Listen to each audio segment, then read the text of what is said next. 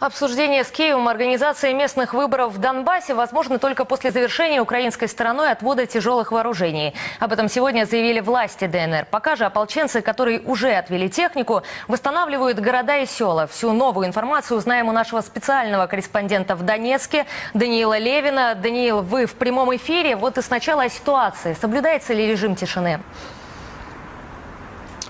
Ну, в Донецке сейчас действительно спокойно. Началась первая за эту весну рабочая неделя. Но вот в штабе Донецкой Народной Республики заявили, что накануне ночью по-прежнему не было... Э, э, украинская сторона нарушила Минские соглашения и как минимум 10 раз обстреляла населенные пункты. Неспокойно было в районе, в районе Донецкого аэропорта и ближайшего к нему села э, Спартак.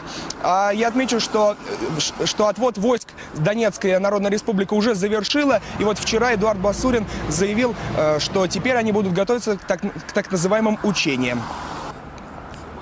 Выведены от линии соприкосновения артиллерийские подразделения армии ДНР в настоящее время приступили к плановой боевой подготовке, ремонту и обслуживанию штатного вооружения и военной техники в местах новой дислокации.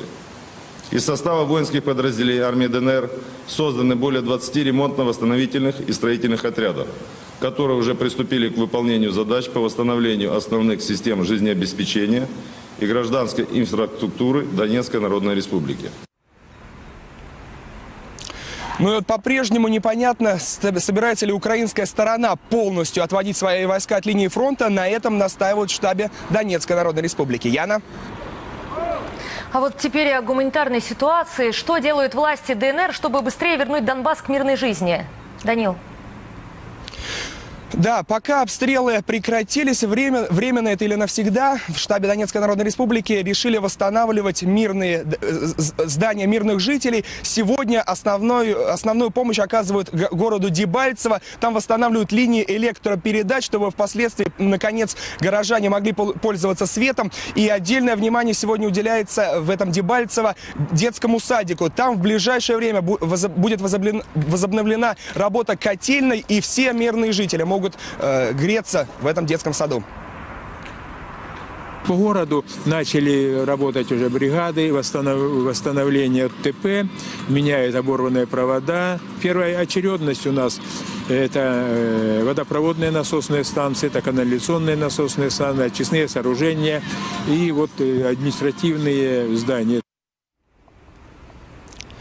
Самом Донецке также продолжается работа по восстановлению. Там восстанавливают не только линии электропередач, но и вообще здания, потому что некоторые дома разрушены практически полностью. И даже, честно говоря, и восстанавливать там уже нечего. В ближайшее время, возможно, начнется строение новых домов. Я отмечу, что в частном секторе повреждены здания не только местных жителей, но и уроженцев других государств.